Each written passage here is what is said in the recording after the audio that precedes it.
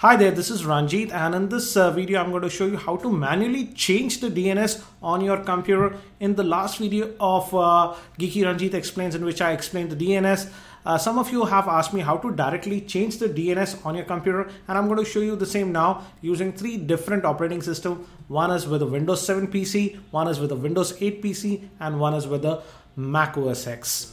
This is a Windows 7 computer and you need to go to the control panel and here click on this network and internet settings. And here click on this network and sharing center. Here you see this change adapter settings? Click on this. And here you'll find your network card. Uh, I have multiple network cards on this computer. You might just have one. Select the active network card that you're using. For example for us we are using this one. And I'm going to select that. Right click it. Go to the properties and here our internet connection we need to look at this internet protocol version 4 and go to the properties and here you need to select the second radio box and we just need to enter our custom DNS server here. The Google DNS server as I mentioned was 8.8.8.8 and you can also enter an alternative DNS uh, server for example from opendns.org. Just hit OK we did it for this TCP IP 4 version. Again if you go to the properties we have set it to the Google DNS just press OK. Based upon your operating system it might reboot. Now you have successfully changed your custom DNS to Google DNS and this is Windows 8 and I'm going to show you how to change the custom DNS on for this one. The first thing you do is if you're in the modern uh, UI go to the desktop and here hit the Windows and the I key and you get here and hit this control panel button.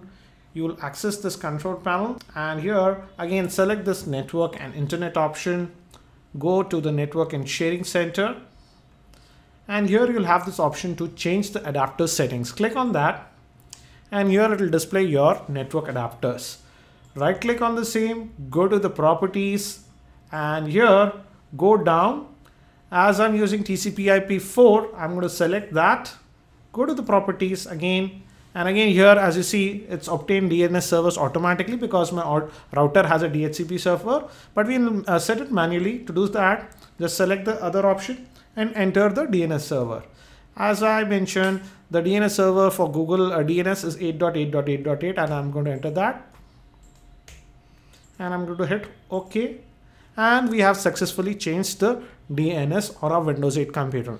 And now I'm going to show you how to change the DNS on a Mac. This is a Mac. Just go to system preferences and here you'll find this network option. Click on that. And here it will show you your network cards or uh, airport. For example, I'm connected wirelessly. So I'm going to select that airport and you need to click on this advanced option. And here, as you can see, we have this DNS tab. Click on that. And here and we need to just enter our new IP address for our DNS server. That's 8.8.8.8. This is the Google DNS server. And you can also add a secondary if you want and just hit OK and click this apply and you have now successfully changed the DNS server on your Mac computer. So this is how you change your DNS address manually on your computers. That's it for now for this video, but make sure that you are subscribed to my new YouTube channel. That's youtube.com slash geekyranjit explains because I post new videos every week. Thank you. This is Ranjit and I hope to see you in my next video.